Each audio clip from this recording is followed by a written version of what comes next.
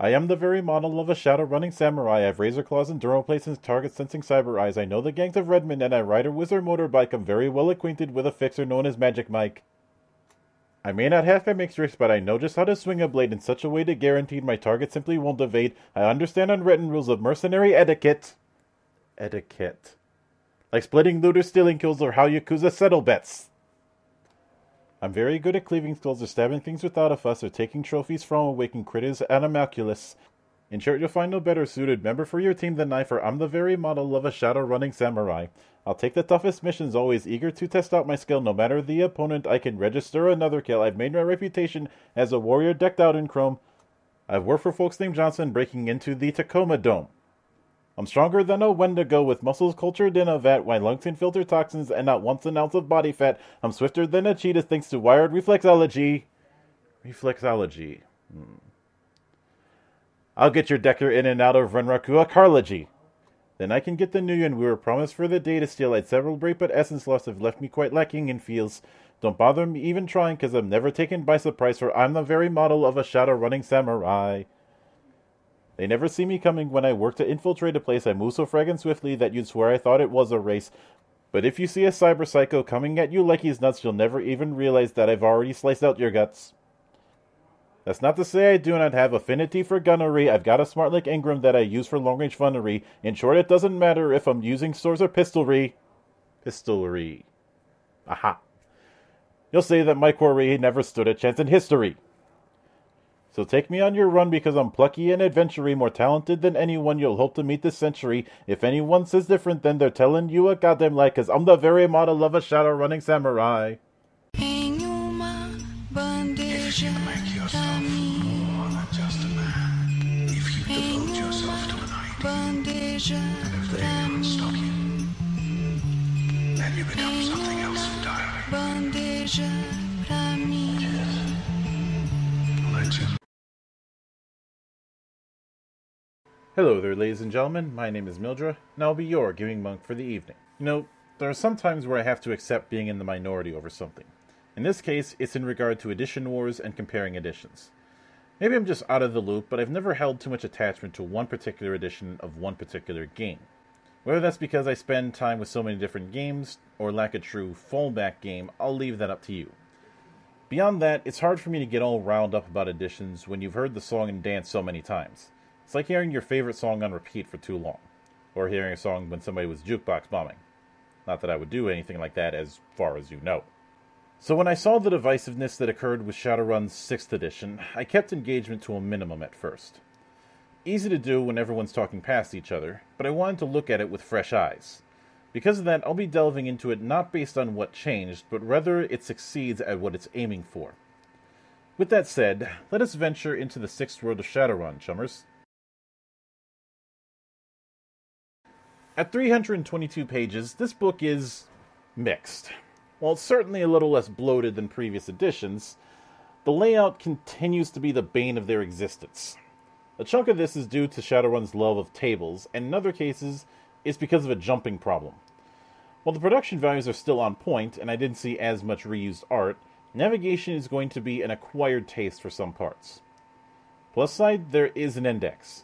Downside, it's not in the dead back as much as it is just before a table appendix.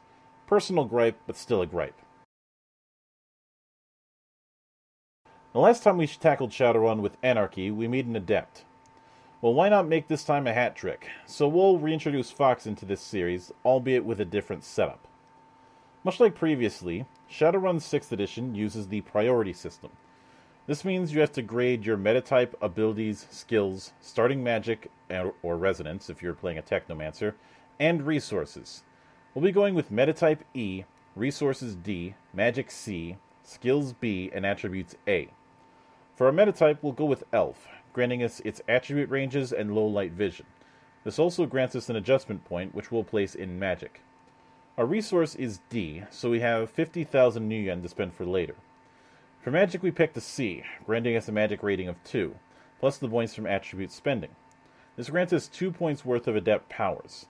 We'll go with Adrenaline Boost 4, Strength Boost 6, Enhanced Accuracy, Pain Resistance 2, Wall Running, and Improved Agility.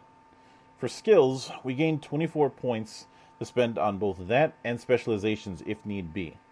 We'll be placing it in the following spread Athletics 4, Biotech 3 with a first aid specialty, Close Combat 6 with an edge specialty, Outdoors 2, Perception 4 with a visual specialty, and Influence 2.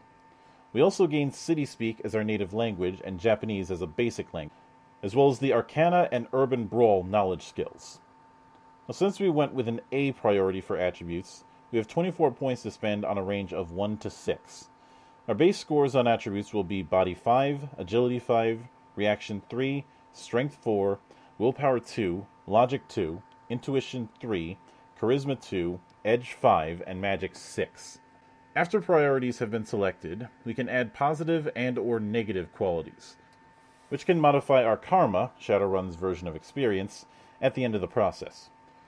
We'll go with Long Reach and the Dragon Slayer Mentor Spirit for positives, along with AR Vertigo, Honorbound, and Allergy for negative qualities. For Karma, we have 50 points to spend.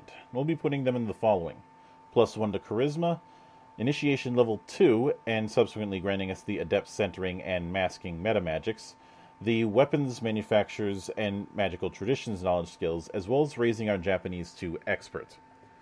Lastly, Gear. We'll be spending our 50 grand on a katana, a telescoping staff, a bow with 20 arrows, an armor vest, an Emperor Comlink, a grade 3 fake SIN, two months of middle lifestyle, and a Scorpion motorcycle, leaving us with 16.1k in New Yen. Character creation is certainly streamlined to a significant amount, especially the skill spread, which is no doubt going to be controversial. I understand where that particular issue is coming from, but time has soured me on the massive skill list. That said, I did notice a few issues. First, I don't see any option to use the traditional point buy approach instead of the priority system. There are also a few things left unclear, like whether or not special attributes can be improved with attribute points in creation. I did so here because it didn't make sense not to. When it comes to karma spending, I really don't see the reason to have active skills and attributes be the same cost.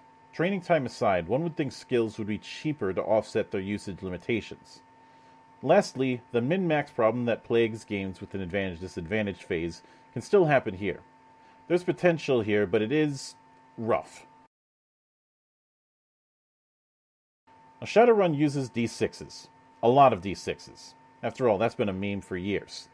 But in all seriousness, the core mechanic remains the same as it has. Attribute plus skill in D6s, 5 and 6 counts as hits. This is compared against the target number of hits. If half the dice roll as ones, then the action has a glitch, or a critical glitch if the roll fails. This means something extra happens in the effects for or against you also known to me as the and but rule. However, Edge has been overhauled into a momentum like system instead of merely extra effort in a way.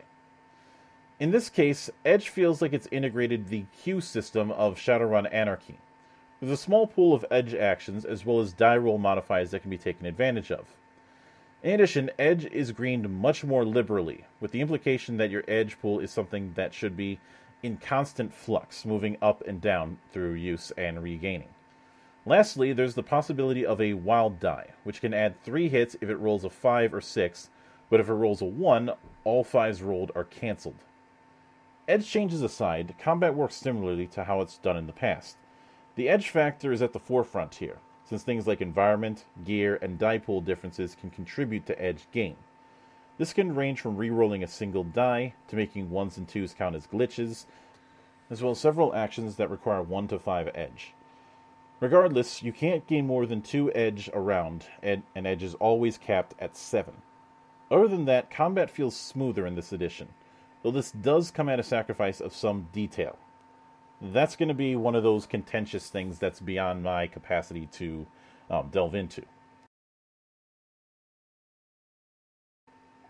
Now, I will confess that I started late with Shadowrun, since 3rd edition was my introduction, and I didn't truly embrace it until 4th.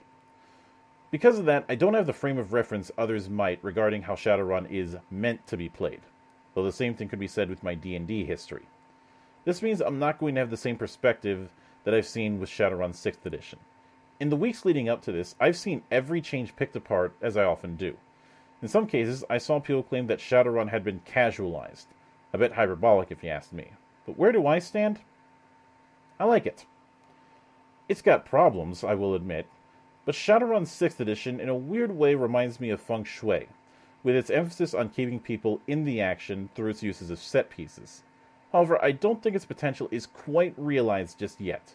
There's some parts that need to be better explained, and I think that the new Edge system has the potential to be abused or underused, or sometimes both. Even so, this definitely is a less intimidating Shadowrun that I could easily see myself running with non chummers to bring them into its fascinating setting. So, with all that in mind, I'm willing to give the game a stamp of recommended. However, it's with the caveat of waiting for a 6th edition version of the Runner's Toolkit.